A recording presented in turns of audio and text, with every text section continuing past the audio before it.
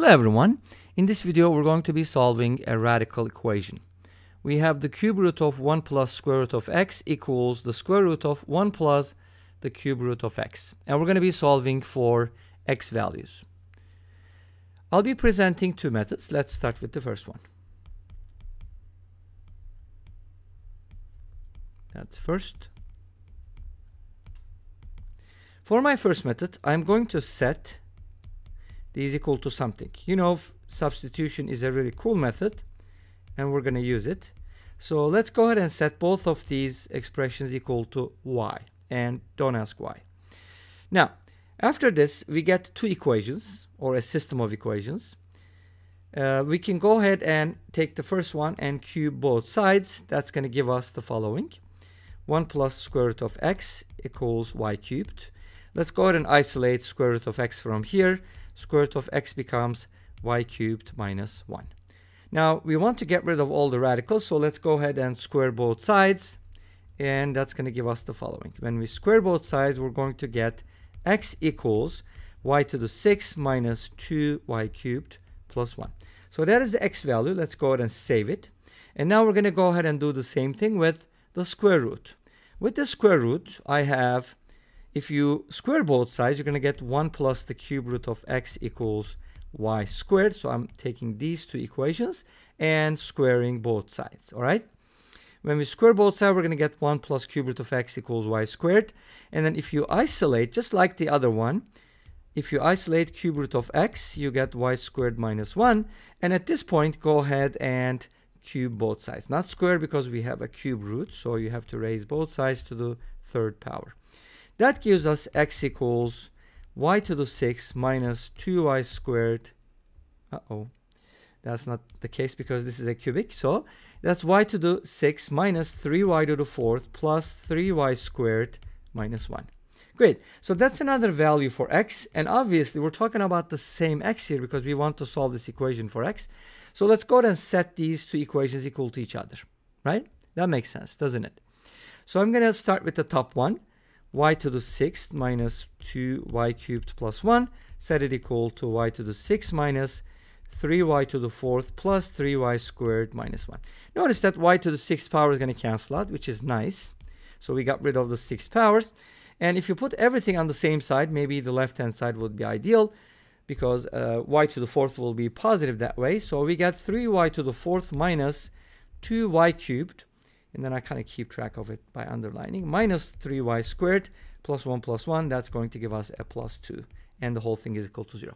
Now, a lot of times uh, with polynomial equations, one thing you should always check is the sum of the coefficients, and then the sum of the odds and the sum of the evens, and see if whether uh, y equals 1 or y equals negative 1 is a possible solution. In this case, we notice that 3 plus 2 is 5, and then minus 5 gives us 0. So the sum of the coefficients is 0, which means y equals 1 is a solution. And there is a good reason why y equals y, y equals 1 is a solution. Because if you go ahead and group these terms like this and like that, and factor, you can take out 3y squared, you get y squared minus 1. And then the other two, you can take out a negative 2, and you get y cubed minus 1.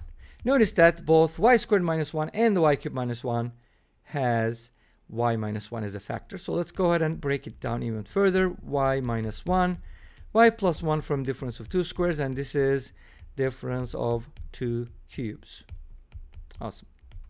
So really cool review of algebra here if you're dealing with factoring.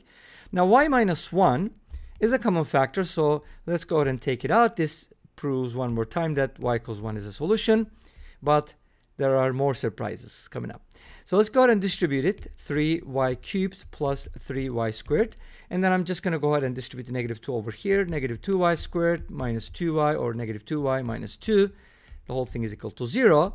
The second factor can be simplified. 3y cubed plus y squared minus 2y minus 2 equals 0. Uh-oh. If you check the sum of the coefficients, the, it's 0 again, which means y equals 1 is a possible solution. But the factoring is not that straightforward, so you can kind of go ahead and work it out. You know, one of the methods that we used was break this down like 3y cubed minus 3y squared, and then to make up, you have to add 4y squared, and then you have to subtract 4y to make y minus 1 a factor, and then you have to add 2y to make up for the difference, and then you have to subtract the minus 2 at the end, and this gives you that y minus 1 is going to be a common factor, and you can go ahead and factor it out. When you do, you get the following. You get y minus 1 times y minus 1, which is going to give you y minus 1 quantity squared. The other factor is just going to be 3y cubed actually not 3y squared, 3y squared, 3y squared plus 4y plus 2. And that equals 0, which means y equals 1 is a solution. It is like a double root, but it doesn't matter. We don't care. It's just y equals 1 is a valid solution. But remember, we're not looking for y, and you know why, hopefully. We're looking for x, right? But we got y equals 1. So let's go ahead and plug it in. Now, where do we plug it in? You can go ahead and use these six powers, but that's not needed. Let's go ahead and use one of the radicals because it's going to be much, much easier. Since y equals 1 is a valid solution, why don't we use the cube root? Cube root of 1 plus square root of x. This is what y equals, right? Remember? And we know that y is equal to 1.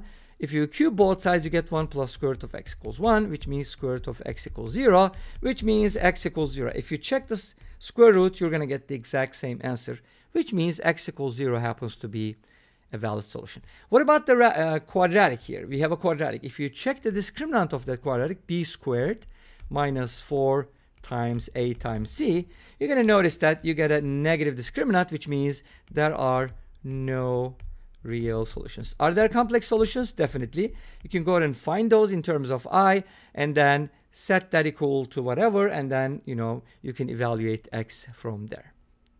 All right, great. So that gives us basically we only have one real solution. And I'll tell you in a little bit because I'm going to show you the graph at the end. I'm also going to talk about the, the domain of this equation.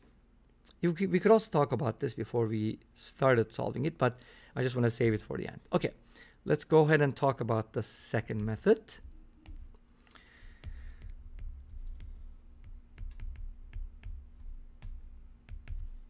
All right, so for my second method, let me rewrite the equations.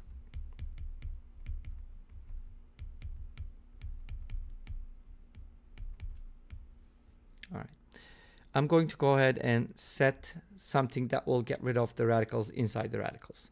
Now I have a square root, I have a cube root. So think about 2 and 3. What is the least common multiple of 2 and 3? It's 6, right? So I'm going to set x equal to u to the power 6. And that's going to give me the following. Square root of x is going to be u cubed.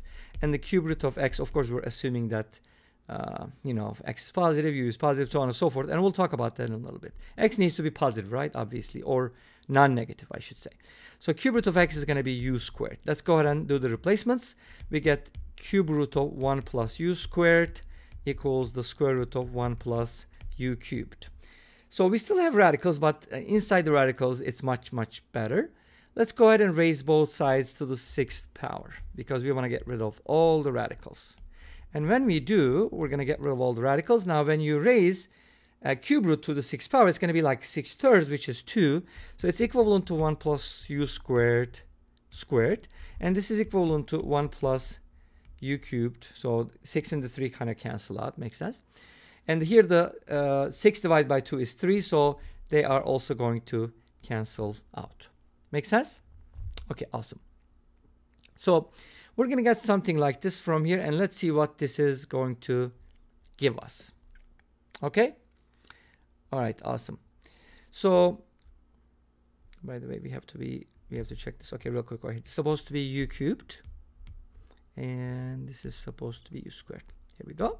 Okay, so this is going to be u cubed. And this is going to be u squared. Awesome. And now, this is the correct equation because we replace square root of x with u cubed, so that should be u cubed, not u squared. All right, awesome.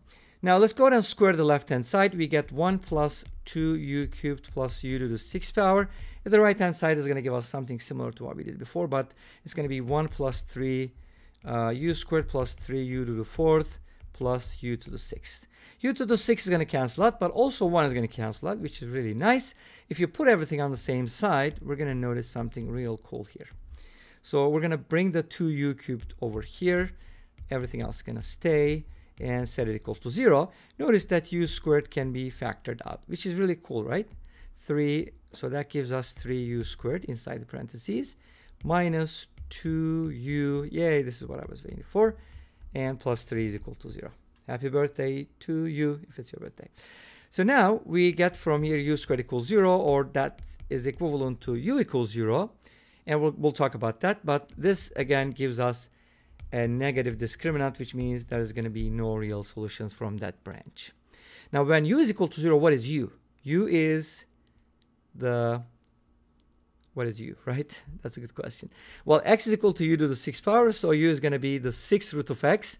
So the 6th root of x is equal to u, but u is 0, therefore x is equal to 0. Obviously, that's going to be a valid solution, like I said before, and that is going to be the only real solution. Let's go ahead and take a look at the graph, and we'll briefly talk about the domain. So here's two graphs, the cube root of 1 plus square root of x, the original ones, and the square root of 1 plus cube root of x. Notice that on the orange one, which is the square root of 1 plus something, we notice that uh, the domain is negative 1 to infinity. Why?